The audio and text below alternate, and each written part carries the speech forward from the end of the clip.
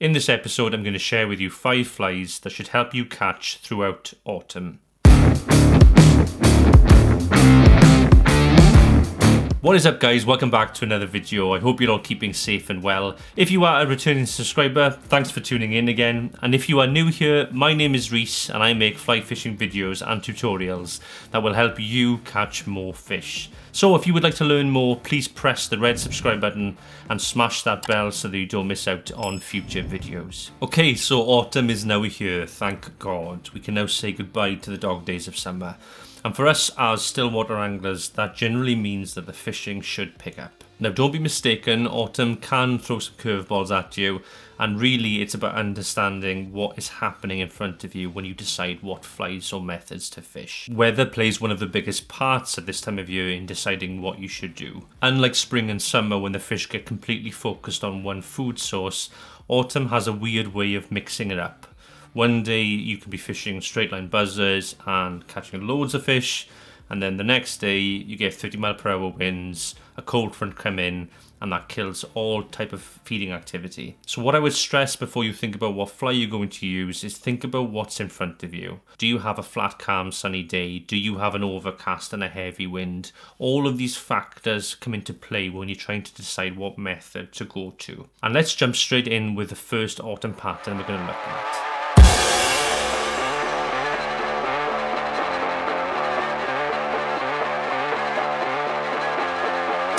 The Hare's Ear Sussy Buzzer. Now this is called a sussy buzzer, a suspender buzzer, a top hat, depending on where you come from in the UK. But they're all the same pattern effectively. And the reason why I put this pattern in is that I am trying to target those fish that have been in all summer and are still willing to look up when the opportunity presents itself. You will have a body of fish in every small lake that have gone through the winter and aren't going to come to a lure or a bung fly or anything like that. They are solely focused on feeding naturally where possible. And with that in mind, you won't go far wrong with a Hare's Ear sussy buzzer like this. What's important with a pattern like this is the shape and profile it creates in the water.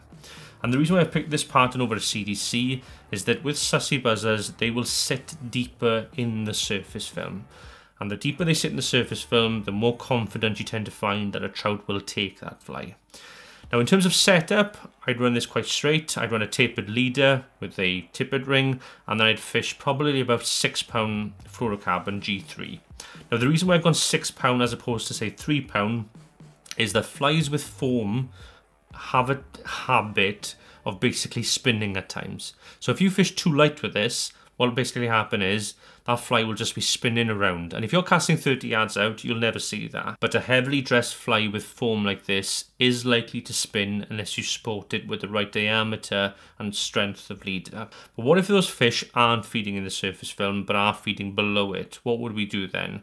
Well, fly number two is quite simply a diawl bach. I'd fish three diawl bachs happily all day. Doesn't matter where I am, Diawl is a fly I've got a lot of confidence in. Now, this particular version is actually one of Jeremy's creations, or Jeremy's variations, I should say. It is actually an olive Diawl with a Glo Brite number 4 in the butt section and olive spanflex for a rib. It worked really, really well at Rutland in the early part of the year, and we've carried it through ever since. So, how I would fish this fly is a standard approach, either fishing it straight lined or on a washing line. My preference in that respect is to go for an 18 foot leader with three flies spaced on 6 foot, 6 foot, and 6 foot. If that's too long for you, you can reduce it to two flies and fish them at 12 foot, with the first fly being at 6 foot, or fish three flies at 5 foot, 5 foot, and 5 foot. So if you arrive at your spot on the lake and there's nothing moving on the top, you want to fish three of these straight and let them sink throughout the water column. If, however, you've got fish moving, then you want to keep them up with a washing line. So that means putting a fab or a booby on the point and just fishing them as static as possible.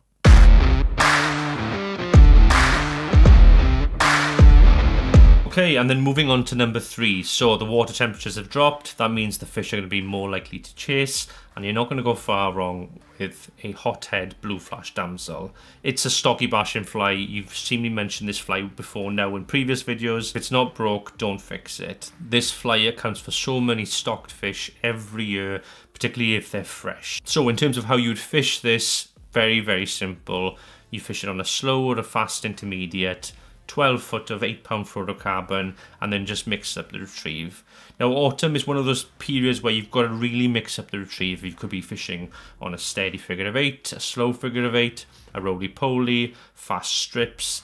Just try and work out where the fish are sitting on the day in terms of depth and then mix up the retrieve to see what re gets reaction. If, for example, you've got fish following the fly on a roly-poly, but they won't commit, you've got two options then. Check it back out, slow everything down to a steady figure of eight, and hang your fly. You will be surprised how often in autumn the fish will follow the fly right to the bank and take at the last second. So it's really important that you just leave that hang there for a good 10 to 12 seconds before you lift off and start the next cast.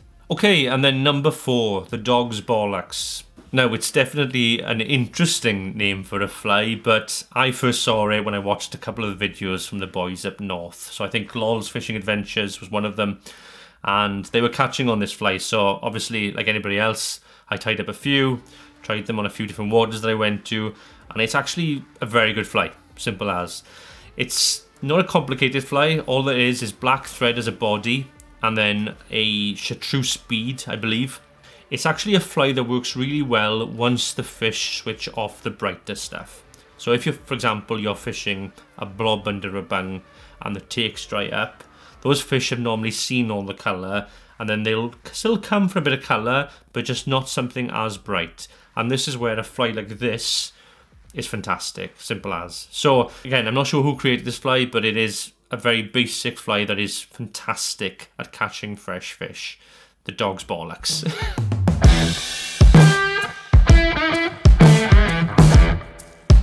Okay, and then let's not ignore what is arguably one of the biggest food sources out there for trout at this time of year fry.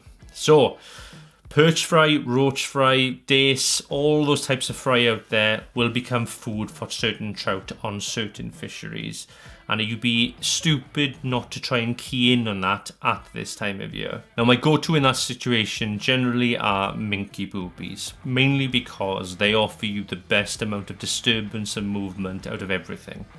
With a long tail and big booby eyes, you can really push water with these, which in autumn, when sometimes the water is coloured, is the difference between you getting a take and not.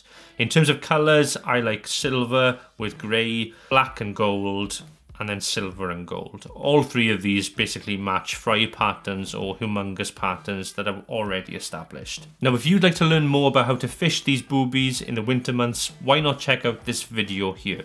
And YouTube seems to think that you would like to see this video here. And don't forget guys, if you found this helpful, please give it a thumbs up.